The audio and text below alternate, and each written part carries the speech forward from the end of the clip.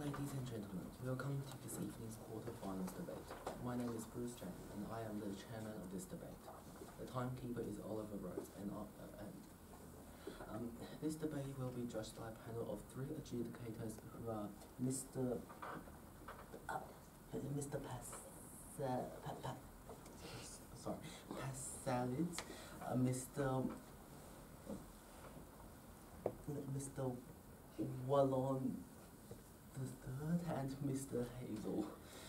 The topic of this debate is that there should be external doors on all toilets. The affirmative team seated to my right is from Glenunga International High School. The negative team seated to my left is from Glenunga International High School. The speaking time for this debate is four minutes. A single warning bell will sound one minute before the speaking time, and a double bell will sound at the speaking time. Please ensure that your mobile phone is switched off. I declare this debate open and call upon the first affirmative speaker, James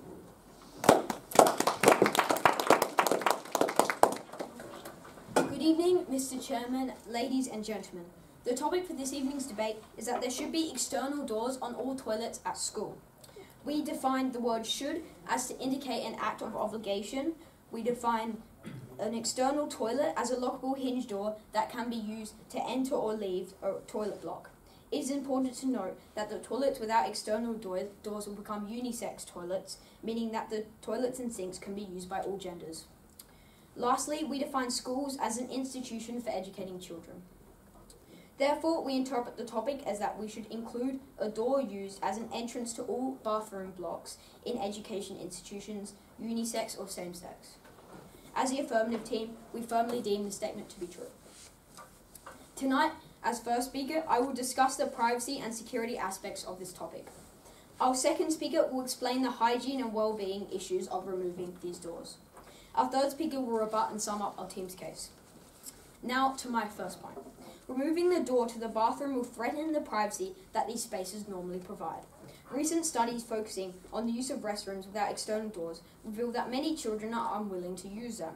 When asked why they feel uncomfortable using the bathroom at school, the responses were somewhat predictable cleanliness, embarrassment, social stigmas, etc. However, most of these issues boil down to one common denominator the lack of privacy. This is particularly relevant at the adolescent age as students are going through countless physical and emotional changes, and many of these students will appreciate having their privacy respected in a place such as a bathroom. As a result, many children make a choice to hold it until they get home. This has compelled students to limit their intake of fluids and force their bodies to adapt to the school schedule. Some children had held off from visiting the, the bathroom for such a period of time that more than one of them was diagnosed with a UTI or a urinary tract infection. If a UTI remains untreated, it can recur, provoke recurrent infections, which commonly lead to permanent kidney damage or prostate infections. This point is backed up by a survey conducted by sociologist Erving Goffman, published in the journal Urban Life, which found that over 60% of Australians would delay using a public restroom if they felt that their privacy has been compromised. If having something as simple as an external door can so drastically improve student impressions of toilets, what reason is there to hesitate? My second point is that vandalism in school bathrooms after school hours will commonly occur without an external door. In schools without lockable buildings or bathroom units on the exterior side of school, students often subject their own school toilets to vandalism just for attention, under the, under the assumption that they won't get caught. As an example, in late 2021, school students had taken to defacing public bathrooms as a social media trend, many of them being school toilets. You cannot help but think if these bathrooms were provided with the proper security measures, being something as simple as an external door, most of the damage from these events could be easily prevented. In one high school alone in Sydney Southwest, $3,000 was required to repair a series of damages by an unknown abuser. The school haven't recently removed their external door. Without something as simple as a basic lockable front door, vandals will continue to take advantage of the opportunity. As I've already as, as I've already made clear, students are struggling to accept these bathrooms as replacements from what we know as regular toilets with doors. In some cases, toilet blocks have even been defaced to a point where they become completely unusable. Walking into one of them and seeing it vandalized will in no way encourage them to accept it. Is this something that we should want? So, Mr. Chairman, ladies and gentlemen, in conclusion, we, the affirmative team, believe that there should be external doors on all toilets at school. Removing the door that separates, separates the outside world to our private world will only encourage us to distance ourselves further away from the facili- facilities. If we are doing anything to change toilet blocks, it should be in the other direction.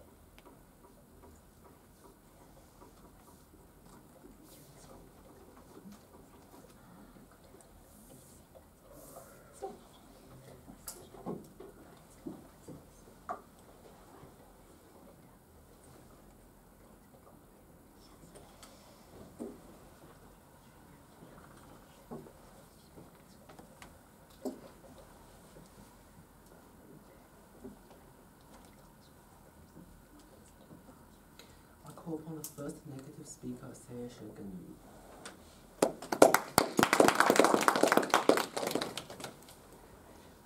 Good evening, Mr. Chairperson and esteemed audience members. The topic of tonight's day, debate is that schools should have toilets that have external doors. As a negative team, we firmly believe that toilets in schools should not have external doors. We do agree with the definition provided by the opposing team. As the first speaker, I'm going to be talking about the safety issues that are caused by external doors and the health problems. The, the second speaker will be talking about how having no external doors supports the genderqueer community and how it saves money, time, and resources. Our third speaker will summarise our points, rebut the opposition's arguments, and close our side of the debate. Before I move on to our side's points, I'd like to present a few flaws in the other team's arguments. The first affirmative speaker is trying to tell you that taking away the external doors of a toilet will um, give students less privacy. But what do you need the privacy for? Washing your hands? You still have a locked door to, to go to the bathroom with. We're not taking that away. The only thing that is changed is that you don't have to open a door. The first effective speaker is also trying to tell you that vandalism will become a lot more just because there is an, ex- an external door. Affirmative speaker has tried to tell you that um, having locked doors outside of the toilets will prevent this. But doors outside of toilets are only locked after school hours. During school hours, anybody can go in there and anybody can vandalize. Vandalism comes from students going inside a toilet where they know that nobody else will be able to see what they're doing. Without these doors, there won't be that, and the teachers can monitor and check that this won't happen.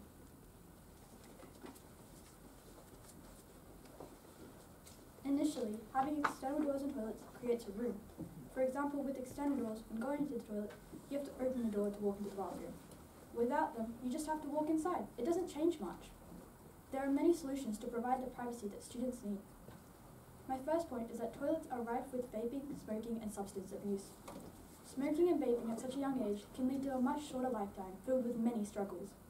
The removal of external doors and toilets can allow smoking, substance abuse, and vaping to be weeded out at schools, since the smoke from vapes and cigarettes will be easily noticeable.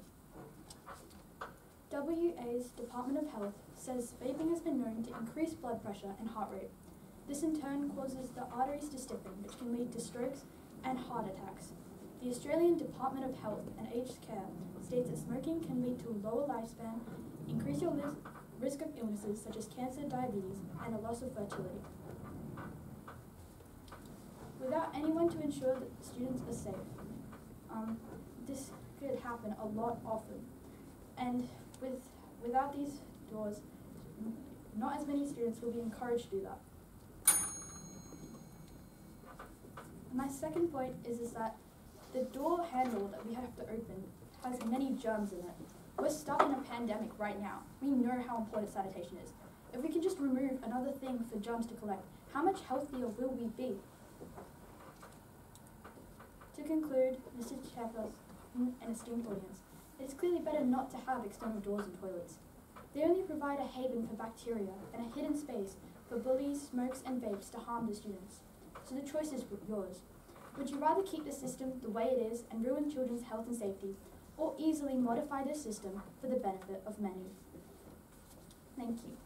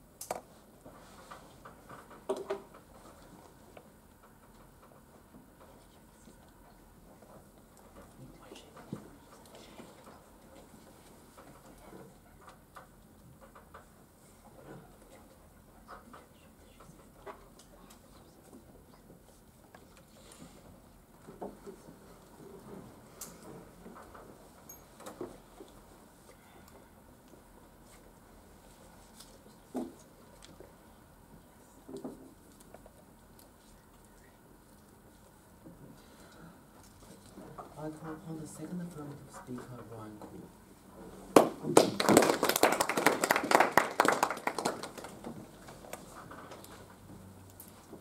Good evening, Mr. Chairperson, ladies and gentlemen. The topic for tonight's debate is that there should be external doors and all toilets at school. We, the affirmative team, adamantly stress that this statement is unequivocally true. Our first affirmative speaker has already evaluated the privacy and security complications relating to this. Tonight, as the second speaker, I will convey to you all that toilets without external doors produce countless hygienic and well-being difficulties for all students. However, before I further establish our team's case, I will first highlight some critical flaws in the opposition's argument. The first negative speaker has tried to tell you that students don't use the bathrooms and sinks for anything, making it useless. However, this is false because students need the bathroom space to calm down, wash their face, and etc. In fact, bathrooms are of the only private places students have, making it the only option for them to calm down um, in tough times. Now that these flaws have been made clear, I will now continue my argument. Although there are hygienic problems when using toilet, the toilet door, there are still countless hygienic issues that would come with remo- removing the door. It is proven by the World Health Organization that diseases and infections such as COVID are more easily transmitted through the air from their nose or mouth. The toilets are where many of these diseases leave a person and transmit somewhere else. It is common that people go to the bathroom to blow their noses, but the bathroom is also where you're more likely to find every other bodily fluid, including urine, vomit, and blood. This is why we this is why preventing the spread of these diseases calls for a door, because students passing outside will have a higher chance to contract these diseases or infections if there aren't external doors. In fact, rather than remove the doors completely, replacing them with doors that minimize contact, such as ones that can be pushed open with a shoe, can easily be reinstated instead. This will, this will prevent the transmission of diseases or illness from door handles, a common point why schools want to remove external doors for toilets in the first place. However, it is not just a problem of transmitting diseases that comes as a cost to remove external doors and toilets. Normally, the smell and sounds of toilets is kept well within the toilet blocks because the exterior doors act as a barrier. Now, imagine if those doors are removed. The ghastly smells and sounds would seep into the corridors, and students passing by would be able to detect them. In fact, students from Golden Grove and Modbury High, the two South Australian schools who have removed the external doors to toilets, have reported many appalling smells and sounds, disrupting classrooms even from a fair distance away from the toilet blocks. In fact, one of the reasons that the South Australian Department of Education made it mandatory for the external doors to be reinstalled in both schools was because of the numerous complaints and issues which emerged from this controversial decision. To further reinforce this point, I would like to point out that having such hygienic problems like this will impact the well-being of students as well as increase anxiety. Our first speaker has already told you, avoiding the school toilets can lead to many health problems for our students. The same is true for well-being. According to Dr. Ben Cleveland from the University of Melbourne, concern or anxiety about the school toilets may impact their health and well-being, and it is quite probable that it will increase their ability to engage effectively in learning and school in general. By removing the external doors of school toilets, we may be enforcing the idea to students that school toilets are unsafe or embarrassing to use. So, Mr. Chairman, ladies and gentlemen, in conclusion, we the affirmative team firmly believe that we should keep external doors in all schools. The hygiene, safety, and well-being issues by far outweigh a tokenistic change that will not produce any results. Schools should not be creating an uncomfortable and unsafe environment for their own students by implementing this controversial change. Thank you.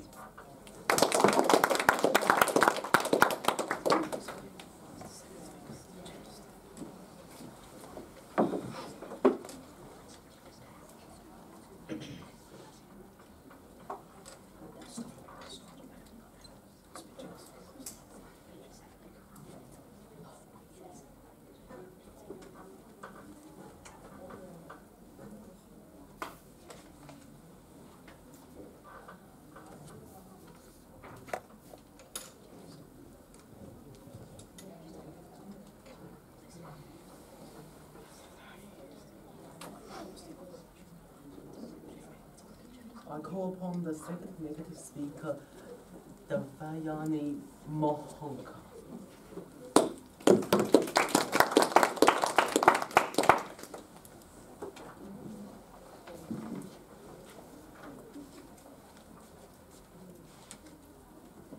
Good evening, Mr. Chairman, adjudicator, and members of the audience.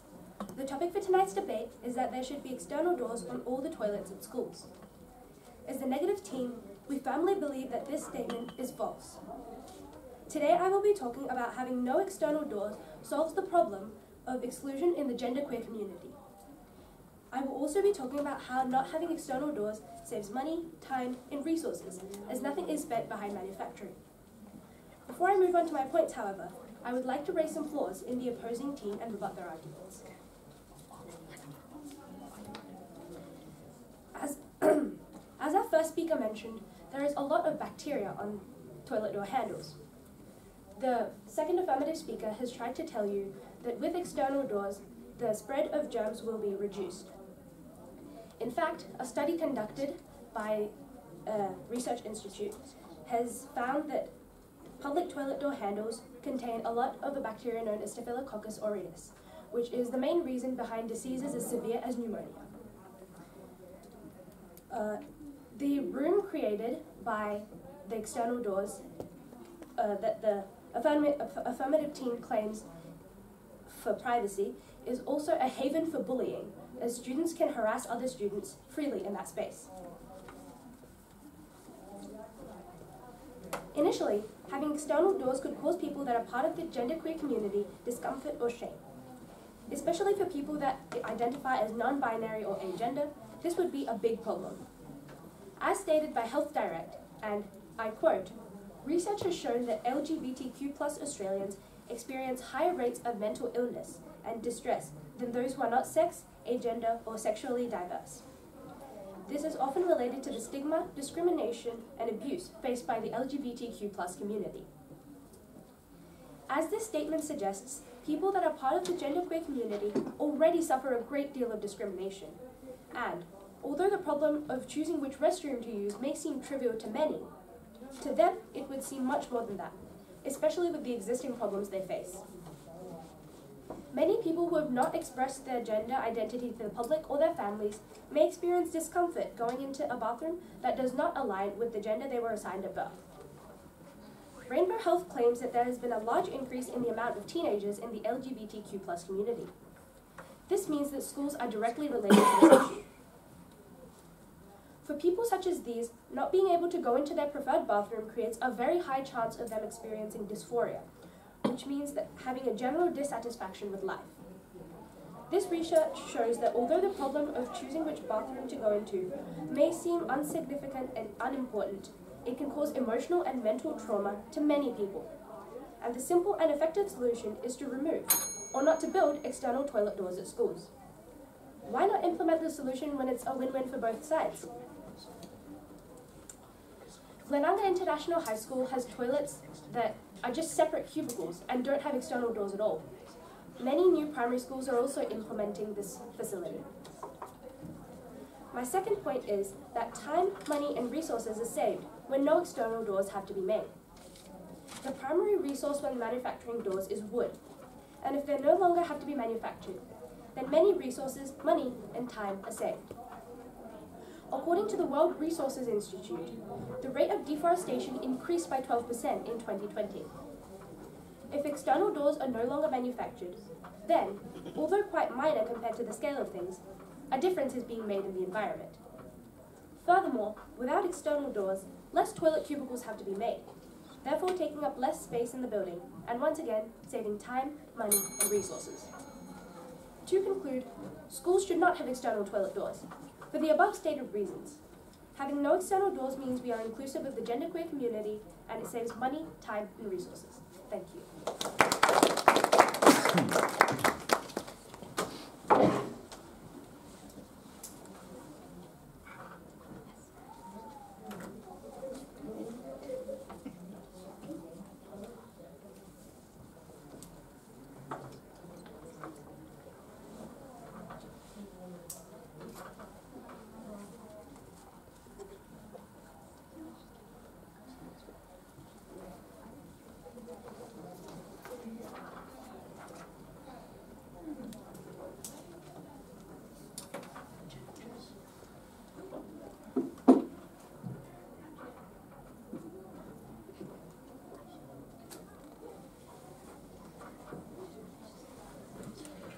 Good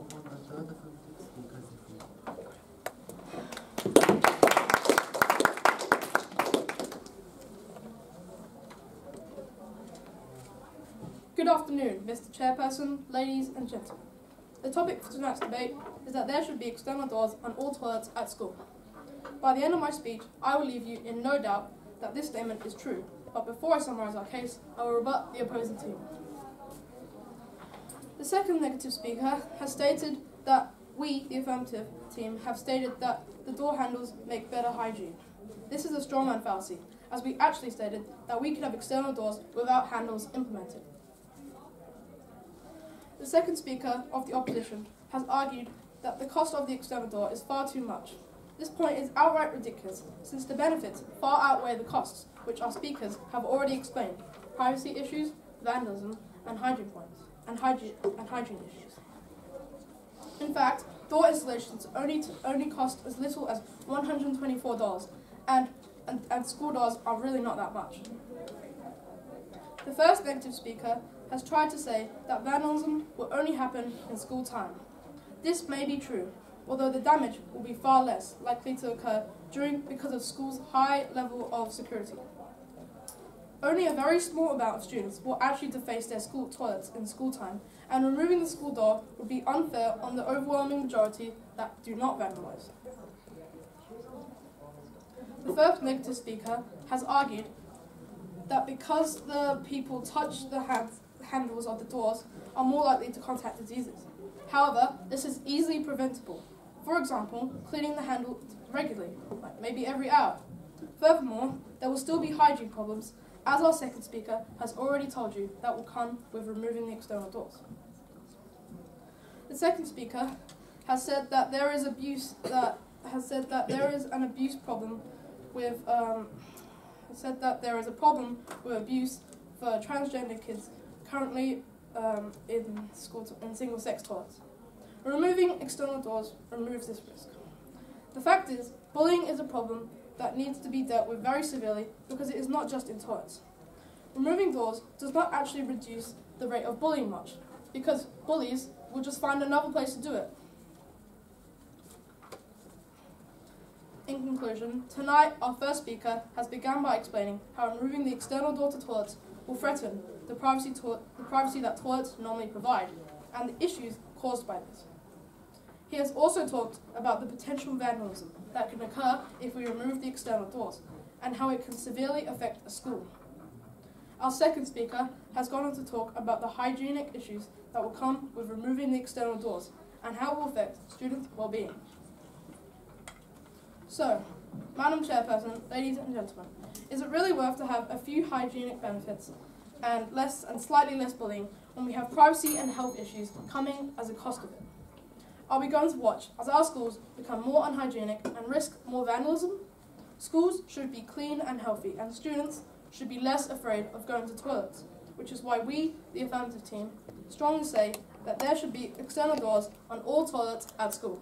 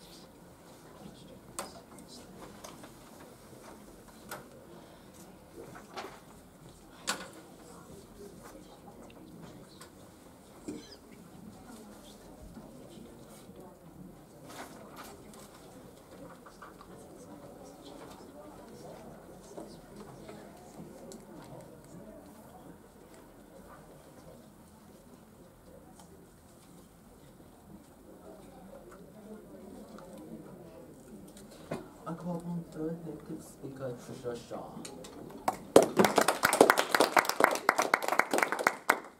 Good evening, Mr. Chairman, ladies and gentlemen.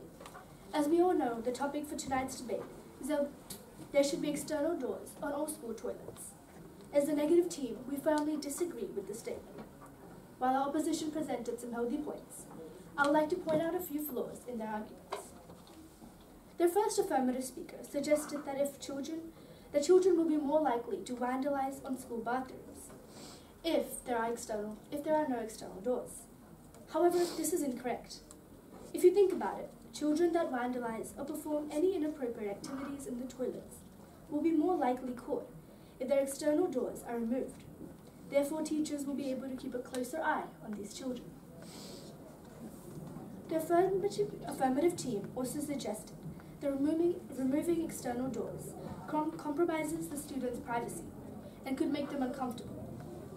That isn't what makes people uncomfortable.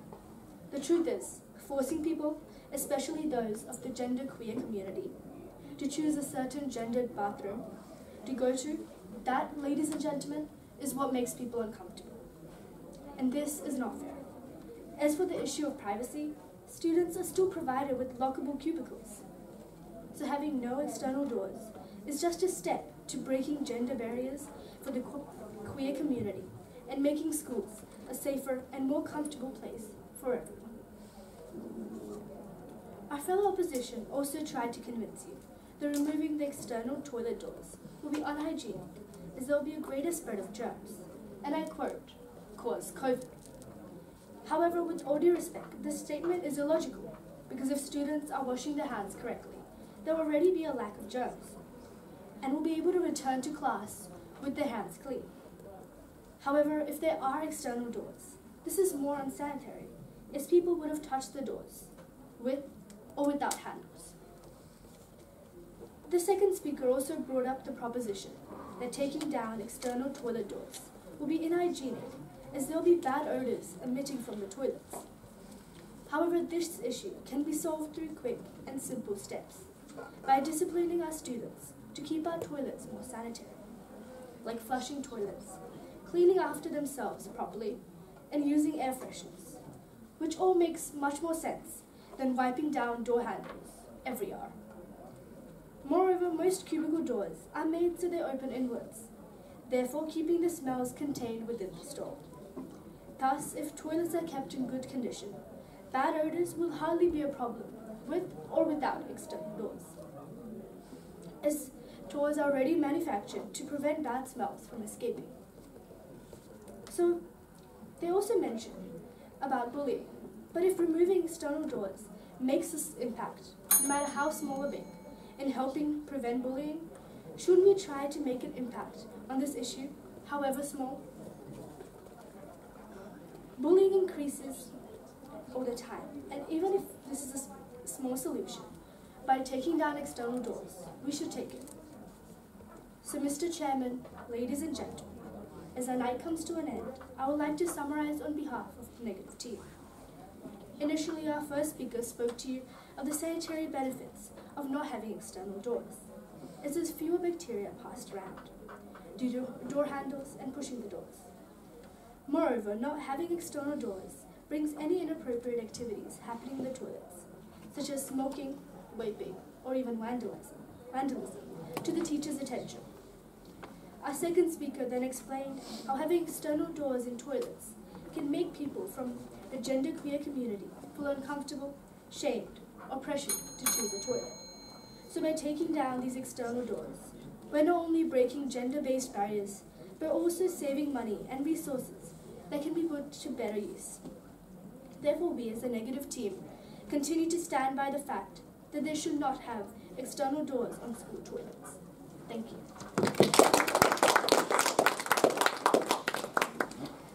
While the adjudicators finalises the result, I will read this evening's chairman notices. We are delighted to announce that the grand final will be held in the House of Assembly Chamber, Parliament House on Saturday, the 24th of September 2022.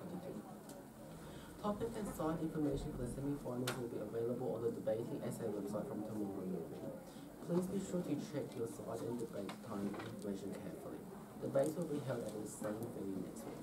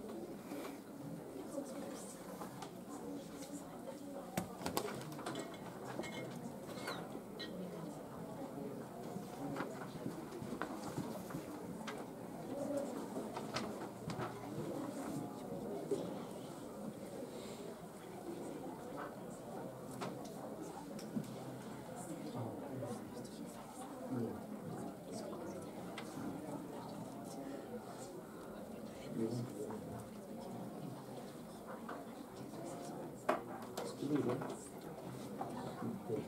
Thank you.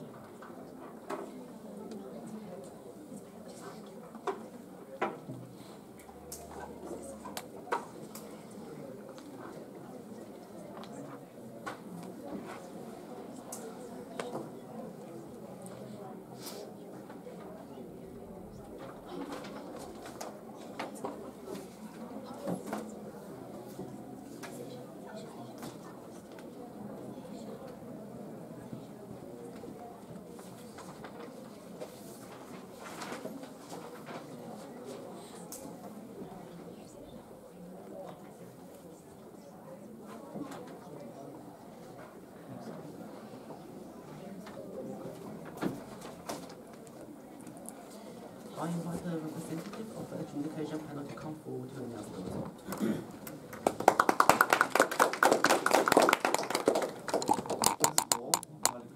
Both teams making this fun.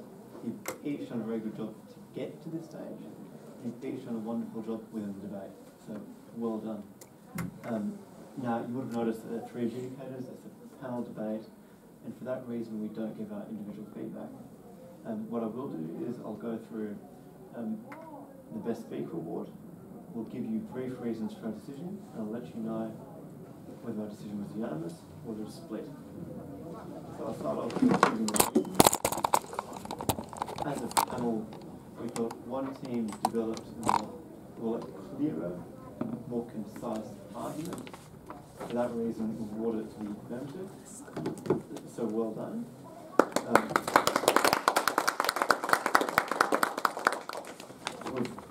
we've given the, uh, the debating award tonight to Zephyrin for an excellent excellently crafted rebuttal, so well done to you.